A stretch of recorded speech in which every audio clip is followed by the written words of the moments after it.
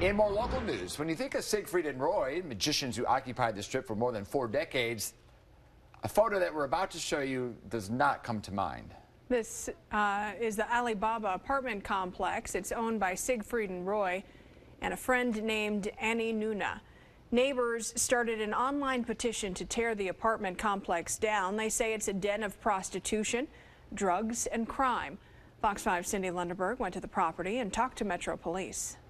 The Alibaba apartment complex is on Deco Lane, just a few streets behind the MGM. Girls getting attacked. Three times as a tenant, I had to get out of bed, run over there, and save some poor girl from being accosted. This is the man who contacted us about the complex, Jimmy Lawrence. He manages the apartments right next door. People come here to buy their drugs, and then they go right next door to do their drugs in some small corner of my property. He said any time of the day or night, there is someone selling or doing drugs. Yeah, there you go, right there. That's a great example of the issue. Uh, that is not a, that addressed. That is never addressed here.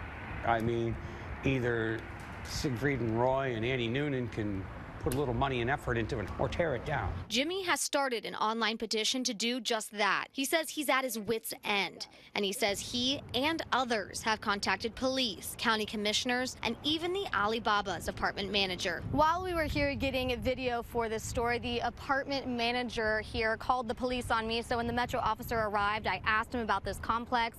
He said he thinks it should be torn down. He said it's constantly full of pimps, drug dealers, and prostitution. I wanted to give that manager the opportunity to speak. Hi, are you the manager? The apartment manager is Alvaro, and he told me it's not true what people are saying about his tenants, and he said he could prove it. How people want to see how the people living over here. We spoke to Cindy and Bruce. They say they've lived here for years. Do you feel safe here, Cindy?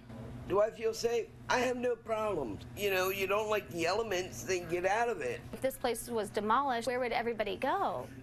It's hard. I also reached out to Metro Police. They told me crime in this area is a problem, and it's not just a problem at this complex. They say in the past year, they had 35 calls to the Alibaba's apartments. They say the last major incident was a barricade situation in 2017. Sergeant Jivapong, who oversees this area command, says if anything were to be torn down, he doesn't see it happening for five to 10 years.